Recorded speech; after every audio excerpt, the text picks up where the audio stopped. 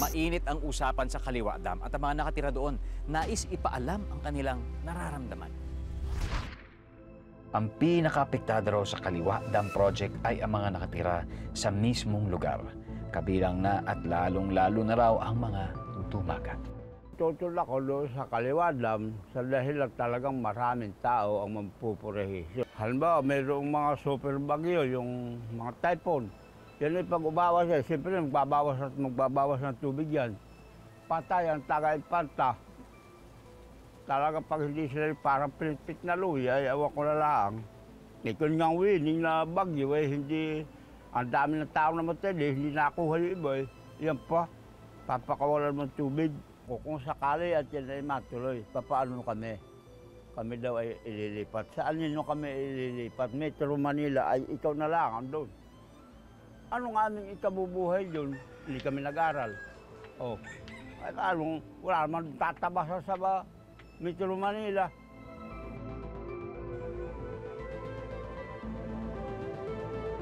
Ako si Nelly de la Carsada, 59 ang edad ko. Isa po akong purong dumagat na simple ang buhay. Minsan walang bigas, kumakain lang kami ng nakukuha sa ilog. Yan. Hinahanap namin di yan. O, ganito o.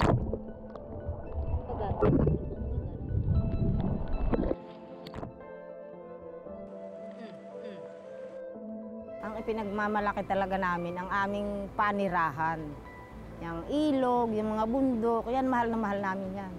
Yung kami kumukuha ng aming ulam, kabuhayan. Pag nagkaroon ng konti, masaya na ang buhay namin. Iyon ang buhay naming mga purong dumagat. Masaya na kami doon sa aming buhay na yun. Pero kung mawawala yung aming ano, ilog na yan, siyempre masakit sa amin yun. Mahirap naming payagan yung bang may pumasok na iba. Di ba, pag nagkaroon ng dam, hindi na kami makakapunta sa ilog. Wala na may, kaming kalayaan. Maasa kami sa ilog ng aming ikabubuhay. Lalo na yung mga isda kami. Hindi ko na iniisip yung aking sarili. Yung aming sunod na saling lahi.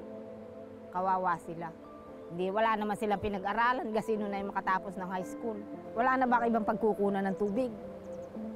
Di ba marami naman dam? Laguna Lake, yung, yun, marami lang nasisira din yung mga ano.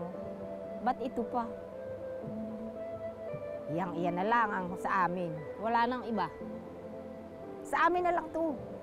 Sa iyo nga, Presidente, eh, pahingi mo naman sa amin ito. Kawawa naman ang mga dumagat o dumagat remontado. Hindi kami marunong pumunta sa bayan, hindi kami marunong mamuhay doon. Dito lang kami talaga. Ah, alam niyo doon sa Kiburusa doon ng libingan ng aming mga ninuno saka aking magulang. Siya. Ito yung ito yung dam, yung tatayo ng dam. Ayan yung libingan. Masisira nila yun. Yun ang magandang alaala. Tapos sisirain nila. Ang ta alam mo ang tawag sa amin doon sa libing yung, mga- yung sagradong lugar. Sagrado yun sa amin. Hindi namin yun gustong masira. Pag ah, natuloy ang kaliwadam, ang ikinatatakot namin, mawawala ang aming kabuhayan, ang aming kultura, aming tirahan. Ilang mga yung mga MWSS pumunta rito. Nag ang nila doon PIC. Hindi ko alam ang ano noon. Yun na naririnig ko sa kanila. Kinukonsulta yung aming mas matanda sa amin. Iyon talaga ayaw pumayag. Ako si Wilfredo Cubalis, tubok kay Borusa. Ako madalas nilang imbita sa mga meeting dahil ako nga po chairman ng mga siptain. Pero ang sinasabi ko po doon, payag kami na magkaroon ng karsada.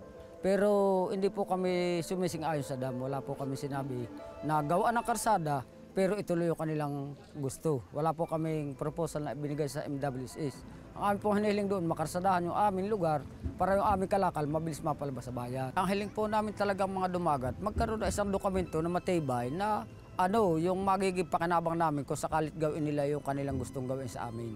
Ang mungkahi ko ay kung maaari, yung live band ang ituloy dahil nakamiminos ang gobyerno doon.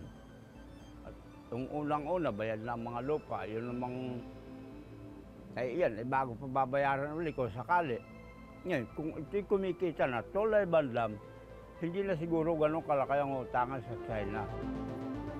Ayon sa grupong Stop Kaliwa Dam o Sectors Opposed to the Kaliwa Dam, apektado ang forests time na tahanan ng 50 plant species, 75 species ng amphibians at reptiles at 81 na uri ng mammals. Magigiba rin daw ang tahanan ng 334 na uri ng ibon, 963 invertebrate species at 1,476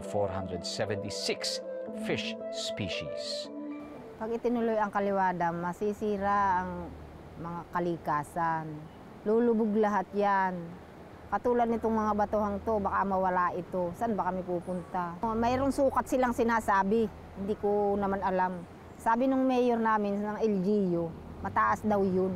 Mawawala sa mapa itong mga lugar na ito. Tubig. Ang nangyayari dito. Pag ganito kahalaga ang issue, hindi masamang kumonsulta sa panig ng mga naaapektuhan sa pag-asang may lilitaw na solusyon na katanggap-tanggap hindi lang ng nakararami, kundi ng lahat. Kaming mga tribu ang nagbigay tanda Mga hanggana ng ilog at sapa. Maging itong bundok at lupa ang kulturang galing kay Bathala.